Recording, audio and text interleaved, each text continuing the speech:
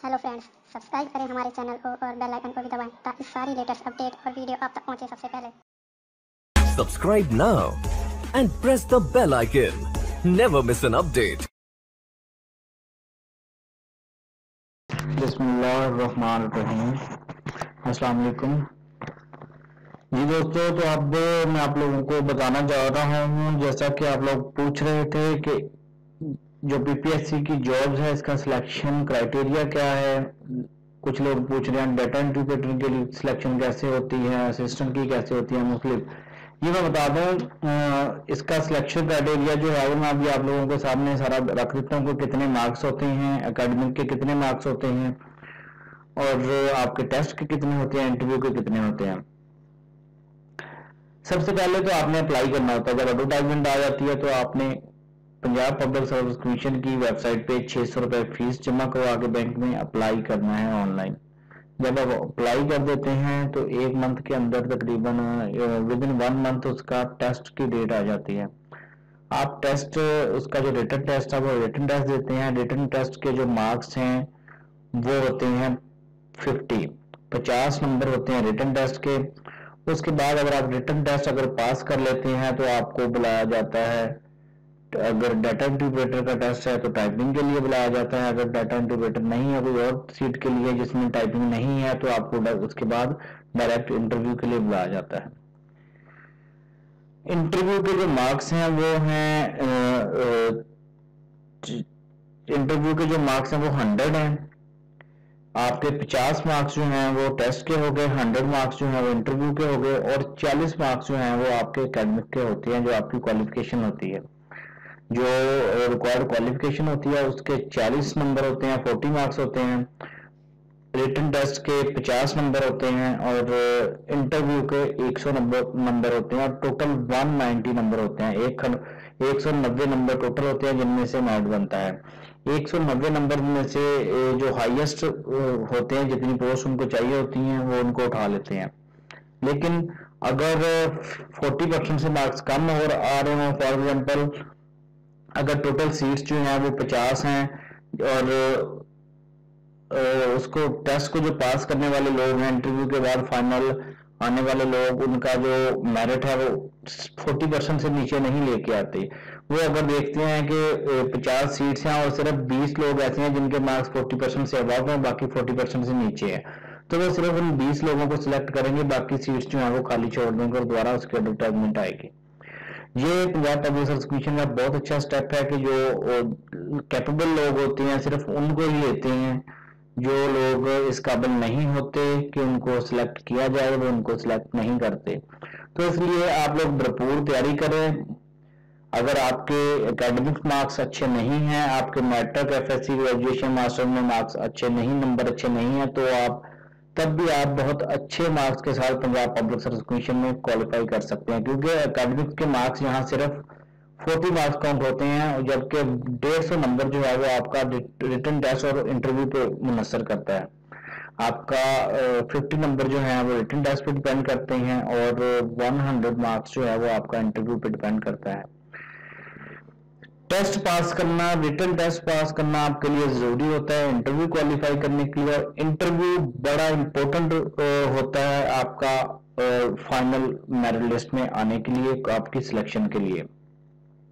क्योंकि अगर इंटरव्यू में आपके मार्क्स 50 से कम देंगे तो आपका इंटरव्यू फेल हो जाएगा। इसलिए आपको कम से कम 50 मार्क्स जो है वो इंटरव्यू में लेना लाजमी होते हैं। इंटरव्यू में अगर आपका इंटरव्यू अच्छा होता है तो आपको 90 प्लस मार्क्स भी मिल जाते हैं 100 में से। और मिनिमम जो है, वो 50 मार्क्स देते हैं, अगर उन्होंने पास करना हो। अगर फेल करना हो तो वो फिर कम देते तो अब इसका कंप्लीट जो प्रोसीजर ये है कि आपने अप्लाई कर दिया फ़र्स्ट स्टेप में, सेकंड स्टेप में आपने उसका पेपर दे दिया रिटर्न टेस्ट, और अगर आपका डेटा इंटीग्रेटर है तो या जूनियर क्लर्क है तो उसकी टाइपिंग का टेस्ट भी होता है। जो लोग पास करेंगे पास करने का क्राइटेरिया ये है कि जितनी सीट्स होती हैं, वो हर सीट पे पाँच बंदों को इंटरव्यू के लिए बुलाते हैं।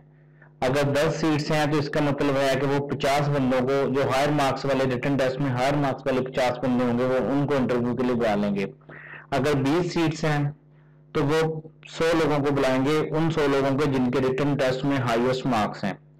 जिनके सबसे जो हंड्रेड अब लोग हैं, उनको बुला लेंगे। जो मोस्ट मार्क्स जिन्होंने हासिल किए हैं, जो पहले हंड्रेड नंबर के रैंक पे हैं, उनको बुलाएँगे इंटरव्यू के लिए। और इंटरव्यू में अगर आप लोग क्वालिफाई नहीं कर पाते तो वो आपको सिलेक्ट नहीं करेंगे, क्योंकि उनका क्राइटेरिया है रिस्ट्रिक्शन है कि 40 परसेंट से नीचे मेरिट नहीं लेके जाना। अगर 40 परसेंट से मेरिट नीचे जा रहा हो तो वो सिलेक्ट नहीं करते, सिर्फ़ उन लोगों को ही सिलेक्ट करेंगे जिनके मार्क्स जो हैं वो 40 परसेंट से अबव हैं। और एक और बड़ा इंपॉर्टेंट क्वेश्चन पूछा जाता है कि हमारे जो चांसेस हैं, वो कब ज़ाया होता है, कब ज़ाया नहीं होता। एक पोस्ट के लिए पंजाब पब्लिक सर्विस कमीशन में अगर आप तीन बार फेल हो जाते हैं तो आप चौथी बार उस पोस्ट पर अप्लाई नहीं कर सकते। अगर आपने असिस्टेंट का या डाटा एंट्री ऑपरेटर के पेपर जो है, वो तीन बार उसमें फेल हो गया तो इसका मतलब ये है कि आप चौथी बार उस पर अप्लाई नहीं कर सकते। वो आपको सिस्टम जो है, वो अप्लाई ही नहीं करने देगा। आपको कहेगा कि आपकी जो टर्म्स हैं आपकी जो खत्म हो चुकी हैं। आप अब अप्लाई नहीं कर सकते, सिर्फ़ तीन बार अप्लाई कर सकते जो आपने गेन कर ली हैं, और अब चौथी बार आप नहीं अप्लाई कर सकते। लेकिन अब मैं आपको बताता हूँ कि अब कब आपका टेस्ट अगर आप क्वालिफाई भी नहीं कर पाते सिलेक्शन भी नहीं होती और आपका चांस भी ज़्यादा नहीं होता। जब आपके मार्क्स 40 आ जाएँ या 40 प्लस आ जाएँ 40 तक आ जाएँ तो आपका, आप अगर उस जॉब के लिए सिलेक्ट भी नहीं होते तो आप फिर भी आपका चांस जो है वो ज़्यादा नहीं होगा। लेकिन अगर आपके मार्क्स जो हैं वो रिटर्न टेस्ट में 40 परसेंट से कम आते हैं तो आपका वो चांस जो है वो ज़ाया हो जाएगा। एक चांस आपका ज़ाया हो जाएगा, एक बार फोर्टी से कम नंबर आने पे। अगर दूसरी बार फिर आपके उसी पोस्ट के लिए 40 से कम नंबर आते हैं तो आपका दूसरा चांस भी ज़ाया हो जाएगा। तीसरा आपके पास आखिरी चांस होगा। अगर तीसरी बार भी सेम पोस्ट के लिए आपके मार्क्स 40 से कम आते हैं तो तीनों चांस आपके ज़ाया हो जाएँगे और आप दोबारा उस सीट पे अप्लाई नहीं कर सकेंगे। अगर आपने तीन बार डेटा इंटीवेटर के टेस्ट से फेल हो गए हैं चौथा आप नहीं अप्लाई कर सकते। लेकिन जो पीपीएससी की और जॉब्स हैं असिस्टेंट की जूनियर क्लर्क की, ये वो, उन पे आप अप्लाई कर सकते हैं।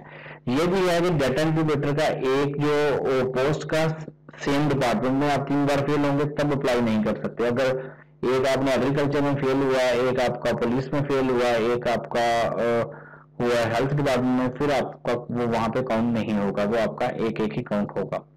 तो ये सारा क्राइटेरिया था। अगर आप लोगों ने अभी भी कुछ आप लोगों के कोई क्वेश्चन हो, कुछ पूछना चाहते हो तो ज़रूर पूछिए। मैं इंशाल्लाह आप लोगों को कोशिश करूँगा कि कंप्लीट गाइड करूँ। मैरिट फार्मूला मैंने आप लोगों को बता दिया। मैं रिपीट कर देता हूँ। मैरिट फार्मूला के इसका अप्लाई करने का जो तरीका का, इसका जो मार्क्स कैलकुलेशन का तरीकाकार है, सबसे पहले रिटर्न टेस्ट होता है, जिसके 50 मार्क्स होते हैं। उसके बाद आपका इंटरव्यू होता है, जिसके हंड्रेड मार्क्स होते हैं। फिर आपका जो अकेडमिक्स है, उसके मार्क्स देखे जाते हैं, चालीस मार्क्स होते हैं। अगर चालीस में से कैलकुलेट किए जाते हैं कि आपकी परसेंटेज के हिसाब से कितने बनते हैं। अगर आपके हंड्रेड में से सात लगा लें फिफ्टी परसेंट मार्क्स हैं तो आपको चालीस में से ट्वेंटी मार्क्स मिलेंगे। अगर आपके मैट्रिक एफ़ टोटल मिला के आपका एवरेज जो है, वो फिफ्टी परसेंट बनती है तो आपको एकेडमिक्स के 40 में से 20 मार्क्स मिलेंगे। और इंटरव्यू जो है, वो बहुत डिपेंड करता है हंड्रेड मार्क्स हैं तो टोटल 190 मार्क्स में से आप लोगों का मेरिट बनता है, उसी में आपने क्वालिफाई करना होता है। तो फ्रेंड्स अगर आप लोगों का कोई भी क्वेश्चन हो तो नीचे कमेंट ज़रूर कीजिए। अगर वीडियो अच्छी लगी हो तो लाइक ज़रूर कीजिए। लाइक करना मत भूलिए। साथ में शेयर का बटन होगा शेयर कर दीजिए। व्हाट्सएप ग्रुप्स में फेसबुक ग्रुप्स में, जहाँ जहाँ भी आपकी आईडी है, वहाँ पे शेयर कर दीजिए। ताकि मेरी भी हौसला अफजाई हो और उसके साथ साथ दूसरे दोस्त भी देख सकें, ताकि जो मेरा वीडियो बनाने का मकसद है कि जो मेरे वीडियो जो मेरा मैसेज जो मेरे अपडेट्स जो हैं, वो ज़्यादा से ज़्यादा लोगों के पास जाए और इससे ज़्यादा से ज़्यादा लोग जो हैं वो फ़ायदा उठा सके। इनशाला मैं आप लोगों को कंप्लीट गाइड करने की कोशिश करता हूँ। मेरी कोशिश है कि आप लोग ज़्यादा से ज़्यादा गवर्नमेंट जॉब्स हासिल करें और अपना जो है कैरियर जो है वो बना सकें। कोई भी आपका किसी जॉब से रिलेटेड कोई भी क्वेश्चन हो, कोई डाटा चाहिए हो, इस वीडियो के नीचे कमेंट करें। इनशाला मैं कोशिश करूँगा कि जितनी जल्दी हो सके वो आपको प्रोवाइड कर सकूँ, आपकी मुकम्मल रहनुमाई कर सकूँ। Thank you